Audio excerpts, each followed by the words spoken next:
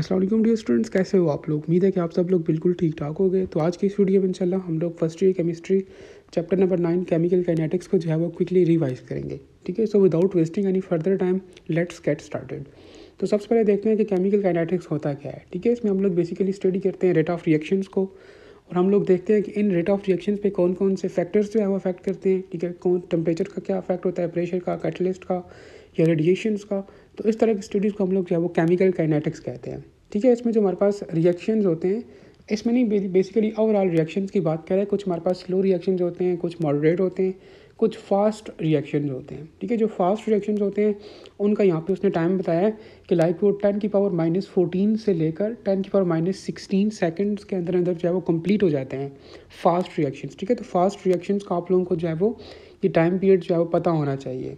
ठीक है एग्ज़ाम्पल भी उसने दिया कि आयोनिक रिएक्शंस ठीक है? आयोनिक रिएक्शंस हम लोगों ने ये चैप्टर नंबर थ्री में ये बात की थी कि आयोनिक रिएक्शंस जो है वो फास्ट रिएक्शंस होते हैं, ठीक है?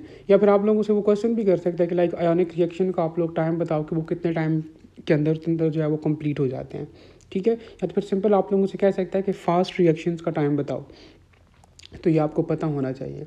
अब फास्ट रिएक्शन कहते हैं कि हम लोग काइनेटिक्स के अंदर केमिकल काइनेटिक्स के अंदर फास्ट रिएक्शंस को स्टडी नहीं करते। ठीक है? देखो, अगर फास्ट रिएक्शन को हम लोग केमिकल काइनेटिक्स के अंदर स्टडी नहीं करते तो फिर कहाँ पे स्टडी करते हैं? इनको हम लोग जो वो फ्लैश फोटोलिसिस और स्पेक्ट्रोग्राफिक मेथड्स के थ्रू जो है वो स्टडी करते हैं। Very slow reactions like rusting of iron blackening of the white heads formation of the water at the room temperature ये स्लो रिएक्शंस की उसने एग्जांपल्स दी हैं। ठीक है? तो ये भी आप लोगों को जो है पता होनी चाहिए। उसके बाद कहते हैं कि लाइक वेरी स्लो रिएक्शंस अच्छा ये हो गया।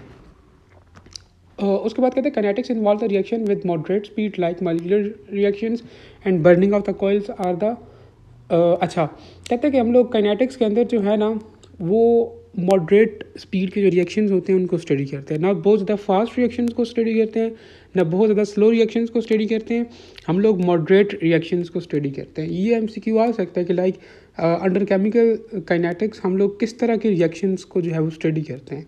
तो हम लोग जो मॉडरेट टाइप ऑफ़ रिएक्शंस होते हैं ना, उनको स्टडी करते हैं, ठीक है? बहुत फास्ट को भी नहीं करते और बहुत स्लो को भी नहीं करते। अब ये आप लोग लास्ट पॉइंट को ज़रा चेक करो, कहते हैं कि kinetics involve reaction with moderate speed ठीक है? ये बात हम लोग कर चुके हैं।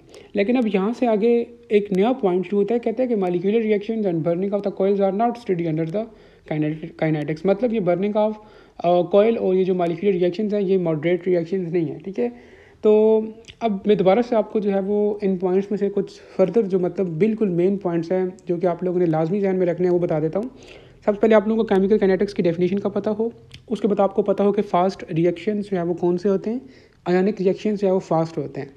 उसके बाद आप लोगों को इनकी स्पीड का पता हो। स्पीड क्या है? टेन की पावर माइनस फोर्टीन से लेकर टेन की पावर माइनस सिक्सटीन तक। ठीक है? उसके बाद आपको पता हो कि देखो फास्ट रिएक्शंस की बात हम लोगों ने की कि फास्ट रिएक्शन और स्लो रिएक्शंस को हम लोग चाहे वो काइनेटिक्स के अंदर स्टडी नहीं करते। तो फिर आपको ये चीज़ पता हो कि फास्ट रिएक्शंस को हम लोग कहाँ पे स्टडी करते हैं? या उनको हम लोग कैसे स्टडी करते हैं? उनको हम लोग जो है वो फ्लैश फोटोलिसिस और स्पेक्ट्रोग्राफिक मेथड्स के थ्रू जो है वो स्टडी करते हैं। ये पॉइंट्स भी हो गया।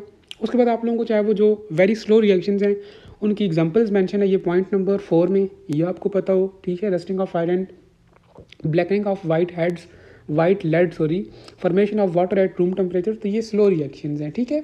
और लास्ट पॉइंट यही कि हमारे पास जो काइनेटिक्स में हम लोग जो है वो मॉडरेट रिएक्शंस को जो है वो स्टडी करते हैं, ठीक है? अब नेक्स्ट है हमारे पास रेट अब रेट क्या होता है? अब रेट बेसिकली हमारे पास change in concentration of reactants to products in unit time तो उसे हम लोग जो है वो रेट कहते हैं। मैथमेटिकली हम लोग कह सकते हैं rate is equal to concentration sorry change in concentration divided by change in time या इसको हम लोग लिख सकते हैं d x divided by d t तो ठीक है? उस पर हम लोग देखते हैं यूनिट ऑफ़ रेट अब रेट का यूनिट क्या है? मोल पर डेसीमीटर क्यूब है या मोल पर लीटर भी आप लोग इसको लिख सकते हो। ठीक है? ये तीन इसके यूनिट्स हैं। आप लोगों ने इनको भी जो है वो जहन में रखना है। आप लोगों से क्वेश्चन कर सकते हैं कि रेट का क्या यूनिट है? वो तीनों ऑप्शन दे के ऑप्शन डी में आप लोगों को ऑल ऑफ़ दीज भी दे सकते हैं। ठीक है? और इसकी डेफिनेशन भी पूछ सकता है, ठीक है? डेफिनेशन समटाइम्स ये छोटी छोटी डेफिनेशन आ जाती हैं, ठीक है? नेक्स्ट है हमारे पास स्पेसिफिक रेट कांस्टेंट अब हम लोगों ने रेट देख लिया, अब स्पेसिफिक रेट कांस्टेंट क्या है? कहते हैं कि it is the rate of reaction if the concentration of the reactant is unity specific है तो यूनिटी के लिए अगर हम लोग देखेंगे तो हमारे पास वो स्पेसिफिक रेट कांस्टेंट हो जाएगा। और इसका यूनिट भी हमारे पास है, वो मोल पर डेसीमीटर क्यू भी है। क्योंकि हम लोग देखो यूनिटी के लिए देख रहे हैं ना तो हमारे पास ये सिंपल मोल पर डेसीमीटर क्यूब ही रहेगा। उसके बाद हमारे पास है जी रेट लॉ और रेट इक्वेशन और रेट एक्सप्रेशन तो ये हमारे पास बेसिकली शो करता है relationship between the rate and concentration ठीक है? नीचे उसने कुछ एग्जांपल्स दी, आप लोग इनको देख लो, लेकिन ये इंपॉर्टेंट आप लोगों से पूछ सकता है कि कौन सा लॉ जो है वो रिलेशन शो करता है बिटवीन रेट एंड कॉन्सेंट्रेशन तो आपको पता होगा रेट लॉ या रेट इक्वेशन लॉ या रेट एक्सप्रेशन हमारे पास जो है वो शो करता है relationship between the rate and concentration ठीक है? ये तीन चार पॉइंट्स आपको जो है वो पता होने चाहिए। उस पर हम लोग देख रहे हैं कि कौन कौन से फैक्टर्स जो हैं वो जो जो अफेक्ट करते हैं रेट को, ठीक है?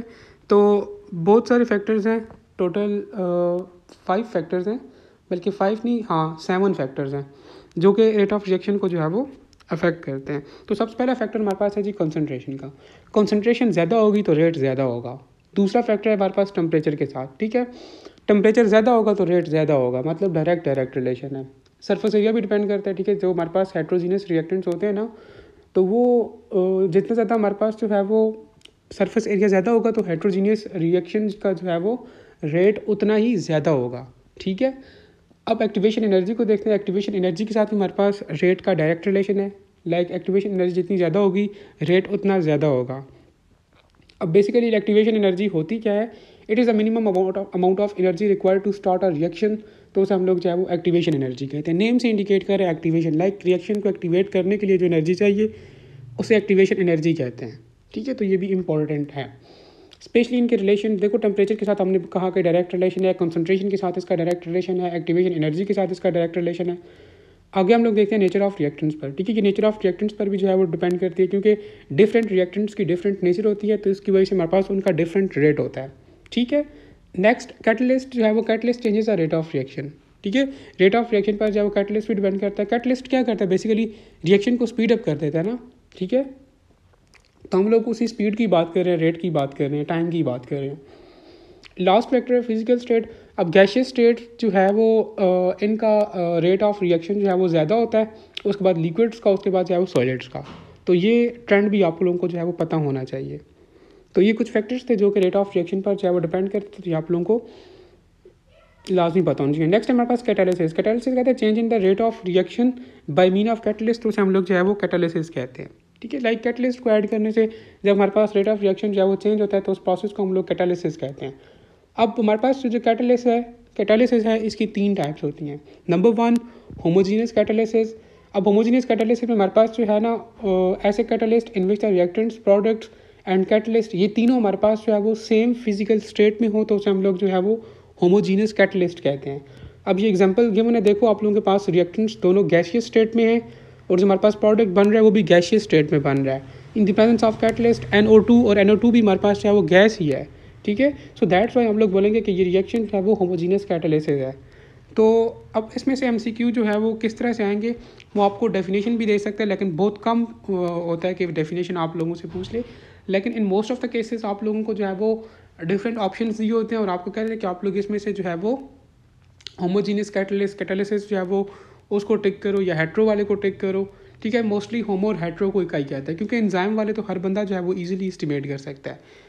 इंजाइम वाला क्या, बल्कि ये भी ईजी है, आप लोगों ने जस्ट स्टेट्स देखनी है। अगर रिएक्टेंट्स प्रोडक्ट और कैटलिस्ट की स्टेट ऑफ़ मैटर सेम होगा तो वो होमोजीनियस कैटलिसिस होंगे। अगर डिफरेंट होगा, आगे जाकर देखते हैं। अगर डिफरेंट होगा तो हमारे पास वो हेट्रोजीनियस कैटालिसिस हो जाएगी। हेट्रोजीनियस कैटालिसिस की आप लोग एग्जांपल देख सकते हो। देखो रिएक्टेंट्स जो है, वो दोनों गैस में है। प्रोडक्ट बी गैस में है। लेकिन in the presence of catalyst V two O five जो कि सोइलड होता है। ठीक है, देखो वी टू ओ फाइव के साथ उसने एस लिखा हुआ है ना। तो ये आप लोगों को अगर जी लिखा हुआ तो वो गैस होगा। एस लिखा हुआ तो वो सॉलिड होगा। एल लिखा हुआ तो वो लिक्विड होगा। मतलब ये तो सिंपल सी बातें तो आप लोगों ने जस्ट ये एस को एल को और उनको चेक करना है, ठीक है? जी को। अगर तो ये स्टेट्स ये सेम है तो मतलब वो होमोजीनियस कैटालिसिस होगा। डिफरेंट है तो बस हेट्रो होगा। नेम से इंडिकेट कर रहा है। नेक्स्ट है हमारे पास एंजाइम कैटालिसिस ऐसा reaction in which the enzyme is use as a catalyst तो उसे हम लोग एंजाइम कैटालिसिस कहते हैं। अब ये उसने डिफरेंट एग्ज़ाम्पल दी है, जिसमें हम लोग जो है वो यूज़ कर रहे हैं एक एंजाइम विच इज़ जाइमोज तो it is a enzyme catalysis तो ये भी आप लोगों ने जो है वो देख लिया। अगर कैटलिस्ट जो है वो उसने इंजाइम यूज़ किया तो वो इंजाइम कैटालिसिस होगा। आगे वो कहते हैं कि catalyst do not have any effect on the total thermodynamic और the enthalpy of the reaction कहते हैं कि कैटलिस्ट जो है ना थर्मोडाइनमिक और इंथाल्पी ऑफ़ द रिएक्शन को जो है वो अफेक्ट नहीं करता। So for this reason a catalyst can not bring about the reaction which is thermodynamically not favourable ठीक है? ऐसा रिएक्शन जब थर्मोडाइनमिकली फेवरेबल ना हो तो कैटलिस्ट भी जो है वो, उसको जो है वो फेवर नहीं करता। ठीक है? उसमें मतलब चेंजेस नहीं लाता। तो आप लोगों को पता हो कि जस्ट कैटलिस्ट रिएक्शन को स्पीड अप करता है, वो थर्मोडाइनमिक और इंथैल्पी ऑफ़ रिएक्शन को जो है वो अफेक्ट नहीं करता। नेक्स्ट है हमारे पास कोलिजन थ्योरी अब कोलिजन थ्योरी देख लेते हैं। इसमें कहता है कि it explain the rate of reaction ठीक है? कोलिजन थ्योरी जो है वो रेट ऑफ़ रिएक्शन को एक्सप्लेन करती है बेसिकली इसके कुछ पॉस्टुलेट्स हैं तो वो देखते हैं। कहते हैं कि the molecules of the reacting substances must collide during the reaction देखो मालिक्यूल्स आपस में कोलाइड होंगे तो रिएक्शन होगा अदरवाइज़ रिएक्शन ही नहीं होगा। नेक्स्ट पॉइंट में कहते हैं colliding molecule must have sufficient kinetic energy या एक्टिवेशन एनर्जी ऑब्वियसली देखो, अब मालिक्यूल आपस में अगर कोलाइड कर रहे हैं, वो मतलब बहुत कम कम कोलिजन हो रही है तो रिएक्शन नहीं होगा। रिएक्शन उन मालिक्यूल्स में कम से कम इतनी कोलिजन होनी चाहिए कि रिएक्शन स्टार्ट हो जाए। ठीक है? तो ये वो बात कर रहा है। कहते हैं collision should be properly oriented और कुलियन जो है वो, उसकी एक प्रॉपर ओरिएंटेशन या डायरेक्शन होनी चाहिए। अगर प्रॉपर ओरिएंटेशन या डायरेक्शन नहीं होगी तो रिएक्शन फिर भी जो है वो नहीं होगा। ठीक है? तो ये कुछ पॉस्टुलेट्स थे कोलिजन थ्योरी के। तीन पॉस्टुलेट्स थे सिंपल हैं। हो सकता है कि आप लोगों को चाहे वो स्टेटमेंट में चाहे वो बोल दे कि all of the following are postulates of collision theory except फिर आप लोगों ने वहाँ पे ये चीज़ें देखनी है। ठीक है? Mathematically form of collision theory हमारे पास क्या है?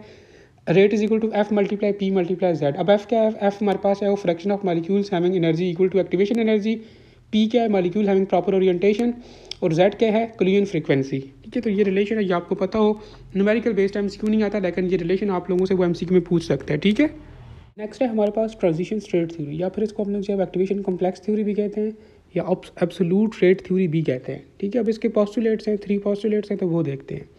नंबर वन कहता है कि when fast moving molecule approach each other they slow down कहता है कि दो मालिक्यूल्स फास्ट मूविंग मॉलिक्यूल्स हैं, वो आपस में जब टकराते हैं तो उनकी जो स्पीड है वो स्लो हो जाती है। ये पहला पॉस्टुलेट है। कहते हैं कि during collision the electronic clouds of the reacting molecules are penetrated into each other कहते हैं कि जब कोलिजन करते हैं मालिक्यूल्स तो उनके जो इलेक्ट्रॉनिक क्लाउड है, ठीक है, वो पेनिट्रेट हो जाते हैं एक दूसरे के अंदर। ये दूसरा पॉस्टुलेट है।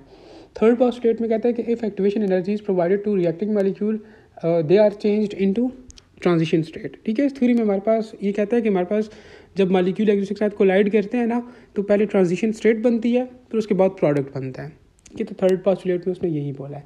ये तीनों पॉस्टुलेट्स भी इंपॉर्टेंट है, जिस मैंने आप लोगों को कोलिजन थ्योरी के बारे में बताया कि एम सी क्यूब के ऑप्शन में हो सकता है कि वो आप लोगों को जो है वो पॉस्टुलेट्स दे दे किसी थ्योरी के, और आपसे बोले कि आप लोग बताओ कि कौन सा पॉस्टुलेट जो है वो it is not related to transition state theory और कोलिजन स्टेट कलियन थ्योरी ठीक है तो इस तरह से आप लोगों को पॉस्टुलेट्स दे सकता है। लेकिन अगर पॉस्टुलेट नहीं देता तो आपके पास ये आगे एक और एम सी क्यू पॉइंट है। कहता है कि transition state is highly unstable state and it can not be isolated ठीक है? तो ये अक्सर एम सी क्यू होता है। ये आप लोगों की एक्सरसाइज का भी एम सी क्यू है कि हमारे पास ट्रांजिशन स्टेट्स जो है, वो ये कैसी स्टेट है? तो ये हाईली अनस्टेबल स्टेट है। ठीक है तो ये आपको पता हो एम सी क्यू में ये आता है।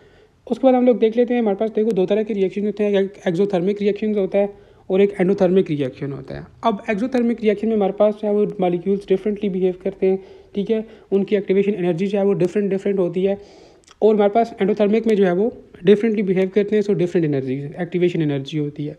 सबसे पहले हम लोग देखते हैं कि एक्जोथर्मिक रिएक्शन में क्या होता है। तो एक्जोथर्मिक रिएक्शन में हमारे पास ये जो ट्रांजिशन बनते हैं ना रिएक्टेंट्स और प्रोडक्ट्स के दरमियान तो उसकी एक्टिवेशन एनर्जी सबसे ज़्यादा होती है, उसके बाद रिएक्टेंट्स की होती है और सबसे कम जो है वो प्रोडक्ट्स की जो है वो एक्टिवेशन एनर्जी होती है। लेकिन हमारे पास जो एंडोथर्मिक रिएक्शन होता है, उसमें हमारे पास ट्रांजिशन स्टेट्स होता है, उसकी एक्टिवेशन एनर्जी सबसे ज़्यादा होती है, उसके बाद प्रोडक्ट्स की होती है और उसके बाद लास्ट पे रिएक्टेंट्स की होती है। दोनों रिएक्शन में आप लोग देख लो कि सबसे ज़्यादा जो है वो एक्टिवेशन एनर्जी जो है वो ट्रांजिशन स्टेट की ही है। लेकिन आगे रिएक्टेंट्स और प्रोडक्ट्स को उसने इंटर वो किया हुआ है तो आप लोग इनको किसी भी तरह बस अपने फिंगर टिप्स पर याद कर लो, ठीक है? आ सकते हैं एम में। उसके बाद नेक्स्ट है हमारे पास थी molecularity and order of reaction देखो, यहाँ से एम सी क्यू जो है वो एक एक लाजमी आता है, ठीक है? वो आप लोगों से ऑर्डर ऑफ़ रिएक्शन भी पूछ सकता है, दो तरह के एम सी क्यू बनते हैं यहाँ से। ऑर्डर ऑफ़ रिएक्शन भी पूछ सकता है, और वो आप, आपसे जो है वो मालिकुलरिटी ऑफ़ रिएक्शन भी पूछ सकता है, और तीसरी चीज़ ये कि अगर फॉर एग्जांपल कोई ऑर्डर ऑफ़ रिएक्शन है तो उसका यूनिट बी पूछ सकता है। तो ये तीन तरह के क्वेश्चन यहाँ से आप बन सकते हैं। तो देखते हैं ऑर्डर क्या होता है मालिकुलरिटी क्या होती है। देखो मालिकुलरिटी में हम लोग क्या करते हैं? कोफिशेंट्स का जो है वो सम लेते हैं। रिएक्टेंट्स की कोफिशेंट का। हमेशा याद रखो कि रिएक्टेंट्स की कोफिशेंट का प्रोडक्ट को हम लोग नहीं छेड़ते। ऑर्डर में भी और मालिकुलरिटी में भी। ठीक है? तो sum of coefficients of reactants तो मालिकुलरिटी होता है और sum of exponents of reactants तो हमारे पास क्या होता है? वो ऑर्डर होता है। अब यहाँ पर उसने जो है वो एक एग्ज़ाम्पल दी हुई है। ठीक है? Two F E C L and plus six K L तो इसमें हमारे पास मालिकुलरिटी जो है वो क्या होगी? मालिकुलरिटी में देखो हम लोग कोफिशेंट्स को ऐड करते हैं ना। कोफिशेंट्स कौन से होते हैं? ये बेसिस जो हैं। देखो two F E C L इसमें टू जो है वो ये कोफिशेंट है। सिक्स के एल अब इसमें सिक्स जो है वो कोफिशेंट है। So two plus six is equal to eight so हम लोग कह सकते हैं कि इस रिएक्शन का जो है वो मालिकुलरिटी जो है वो एट है। ठीक है? अब उसने इसी रिएक्शन का ऑर्डर भी बताया कि देखो ऑर्डर में हम लोग क्या करते हैं? पहले उस इक्वेशन का रेट लिख लेते हैं। अब रेट लिखते हैं, तुम्हारे पास आप लोग देख सकते हो। या फिर और आसान तरीका बता दूँ। देखो टू और सिक्स है ना बेसिस में। तो आप लोग क्या कर लो, देखो टू टू के साथ इसको आप वो एलसीएम ले सकते हो, या टू अगर आप कॉमन ले लो तो अंदर क्या बचेगा वन प्लस टू तो आप लोग जस्ट सिंपल टू और वन को ऐड करो तो आप लोगों के पास ऑर्डर आ जाएगा। अगर आपको ये तरीका समझ नहीं आया तो आप लोग जस्ट सिंपल क्या करो ऑर्डर लिखो, ठीक है, या रेट लिखो। ऑर्डर नहीं, बल्कि रेट लिखो। उसके बाद, आप लोग उनके जो एक्सपोनेंट्स होंगे ना एक्सपोनेंट्स किसे कहते हैं? पावर्स को कहते हैं। ठीक है तो ऑब्वियसली ये बेसिस पावर में चली जाएँगी। और पावर को जब आप लोग ऐड करोगे तो आप लोगों के पास ऑर्डर ऑफ़ रिएक्शन आ जाएगा। ठीक है? अब आगे हम लोग जाकर देखते हैं first order second order third order zero order और फ्रैक्शनल ऑर्डर ये क्या होते हैं।